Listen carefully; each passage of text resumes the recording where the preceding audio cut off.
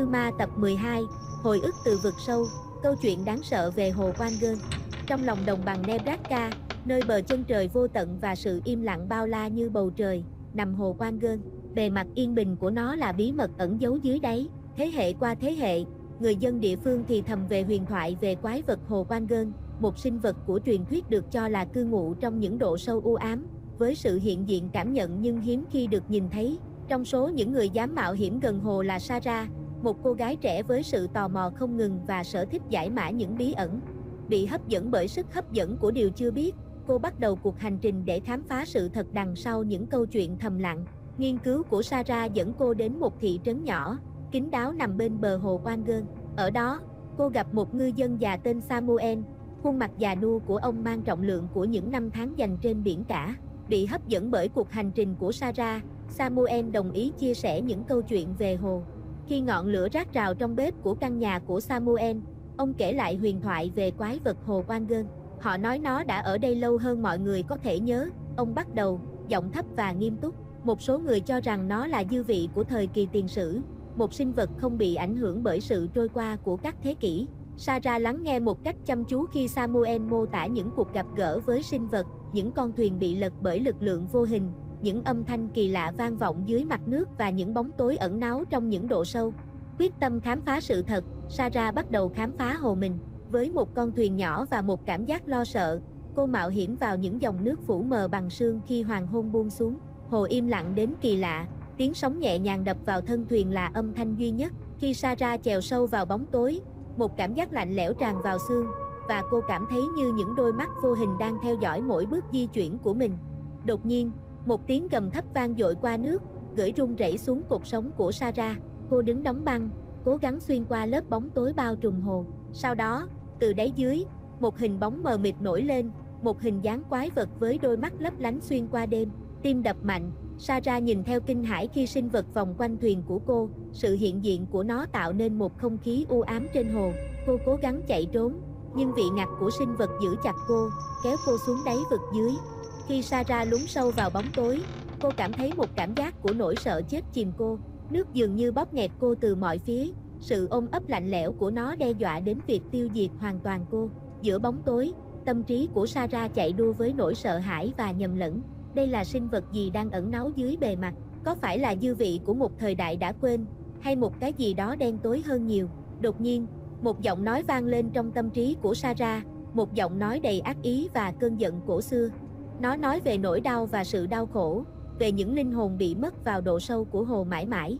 Và khi Sarah lắng nghe, cô nhận ra với nỗi kinh hoàng rằng sinh vật không chỉ là một hiện diện vật lý, mà còn là sự hiện thân của sự ác độc thứ thiệt.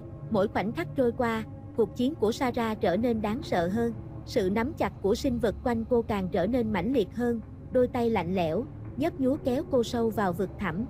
Cô có thể cảm nhận được năng lượng ác ý của nó thấm vào linh hồn cô, làm cô sợ hãi đến mức không thể tưởng tượng được. Nhưng ngay cả trước mặt nỗi kinh hoàng không thể tưởng tượng, Sarah từ chối đầu hàng.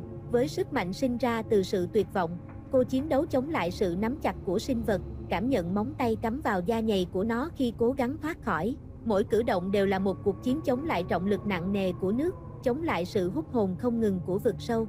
Trong sự kinh hoàng của mình, Sarah triệu tập mọi lượng sức mạnh, mọi chút kiên nhẫn cuối cùng. Với một tiếng gào thét nguyên thủy vang vọng trong độ sâu nước, cô đẩy bản thân đến giới hạn, cào móng tay vào mặt nước với một sự tuyệt vọng gần như điên cuồng. Và rồi, cuối cùng, với một cú đẩy mạnh mẽ được kích thích bởi cảm giác dư máu, Sarah thoát khỏi vòng vây của sinh vật. Cô bò ra khỏi nước khẳng kháng hít thở, phổi cô cháy đốt với nhu cầu của khí oxy, cả cơ thể rung lên bởi sự mệt mỏi và nỗi sợ hãi. Nhưng thử thách của cô chưa hề kết thúc. Khi cô nhìn ra phía hồ, đôi mắt của cô to tròn trong nỗi kinh hoàng với cảnh trước mắt. Bóng tối mà trước đây chỉ dường như bị hạn chế ở độ sâu giờ đã kéo dài ra như những sợi khói đen, vươn ra về bờ với sự đói khát không thể bao giờ được thỏa mãn. Sarah có thể cảm nhận được năng lượng độc ác của nó lan tỏa qua nước, tỏa ra từ độ sâu như một lực lượng tài tử đáng sợ. Nó dường như gọi cô, gọi cô với một giọng nói làm cô rùng mình từ đầu đến chân. Trong khoảnh khắc đó, Sara nhận ra rằng sự kinh hoàng thực sự của hồ Quan Gơn không chỉ là sinh vật cư ngụ trong độ sâu, mà là bóng tối ẩn náu trong tâm hồn của con người. Đó là một bóng tối ăn mòn nỗi sợ hãi và tuyệt vọng, mà thị trấn này không dám gần đến. Với một cảm giác trầm trọng trong lòng, Sara biết rằng cô không thể thoát khỏi vòng vây của bóng tối. Đó là một lực lượng vượt quá sự kiểm soát của cô, vượt xa sự hiểu biết của cô, một lực lượng sẽ tiêu diệt cô, thân thể và linh hồn, nếu cô không tìm cách chống lại. Nhưng khi cô đứng ở bờ, run rẩy vì sự mệt mỏi và nỗi sợ hãi, Sarah cũng biết rằng cô không thể từ bỏ. Cô đã đối mặt với độ sâu của vực sâu và trở nên mạnh mẽ hơn với điều đó, và cô sẽ không để cho bóng tối của hồ oan gơn chiếm cô mà không đối mặt. Với sự quyết tâm mãnh liệt cháy bỏng trong đôi mắt, Sarah bước tiếp, sẵn sàng đối mặt trực diện với bóng tối, bất kể điều gì đang chờ đợi cô, bất kể những nỗi kinh hoàng nào đang chờ đợi cô trong độ sâu của hồ, cô sẽ đối mặt với chúng với sự dũng cảm và sự phản kháng, bởi vì cô là Sarah, và cô sẽ không bị đánh bại. Nhưng khi cô đứng ở bờ, tim cô đập mạnh trong lòng ngực, một cảm giác báo trước nỗi lo sợ tràn ngập cô. Cô đã đối mặt với sinh vật ẩn náu trong độ sâu, nhưng cô có thể cảm nhận được rằng có điều gì đó đen tối hơn nhiều đang chờ đợi. Khi Sarah quét ánh mắt trên bờ hồ, đôi mắt của cô bắt gặp những hình dạng uốn éo di chuyển trong bóng tối. Bóng tối nhảy múa trên rìa của tầm nhìn của cô, thì thầm những lời hứa đầy ác ý về đau đớn và ngục tù. Một cảm giác mồ hôi lạnh xuất hiện trên trán của Sarah khi cô nhận ra rằng cô không đơn độc. Bóng tối bao phủ hồ Quan Gơn đang sống với những kinh hoàng không thể nhìn thấy, những sinh vật sống dựa vào sự sợ hãi và tuyệt vọng của những người dám mạo hiểm bước qua con đường của họ. Với một cảm giác chìm trong lòng, Sarah nhận ra rằng sự kinh hoàng thực sự của hồ Quan Gơn không chỉ là sinh vật cư ngụ trong độ sâu, mà là bóng tối ẩn náu trong trái tim của con người. Đó là một bóng tối nuôi dưỡng từ sợ hãi và sự ngu dốt, tiêu diệt tất cả những kẻ dám mạo hiểm gần đến. Và khi cô đứng ở bờ, bao quanh bởi sự nặng nề của điều không biết, Sarah biết rằng cô đang đối mặt với một trận chiến không chỉ là về sự sống sót của riêng mình, mà còn là về linh hồn thật sự của Hồ Oan Gơn. Đến ngày nay, người dân địa phương thì thầm về số phận của Sarah, và những tiếng vang lạnh lẽo của cái chết của cô vẫn vương trên những cơn gió thổi qua Hồ Oan Gơn. Nhưng giữa những lời thì thầm và những truyền thuyết, một điều vẫn rõ ràng, cuộc gặp gỡ của Sarah với quái vật hồ chỉ là khởi đầu của một sự kinh hoàng sẽ ám ảnh thị trấn Quan Gơn qua nhiều thế hệ.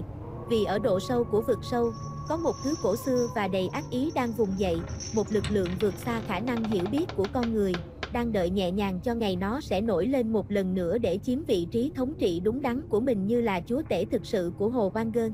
Và mặc dù người dân có thể cố quên đi, và Hồ có thể trông yên bình và im lặng ở mặt trên, bóng tối ẩn náu dưới đáy không thể bao giờ thực sự được dập tắt. Và miễn là Hồ Van Gơn tồn tại, tiếng vọng của vực sâu cũng sẽ không bao giờ biến mất, một lời nhắc nhở về sự thật kinh hoàng rằng một số bí ẩn là tốt nhất để yên lặng. Xin chào. Nếu bạn có bất kỳ trải nghiệm nào về cuộc gặp gỡ ma quái, huyền bí, kinh dị và hoặc bất kỳ sự kiện kỳ lạ nào trong đời thực, vui lòng chia sẻ với chúng tôi theo địa chỉ gospel.xorxorgossiplip.gmail.com. Cảm ơn các bạn đã xem và hẹn gặp lại các bạn ở video tiếp theo.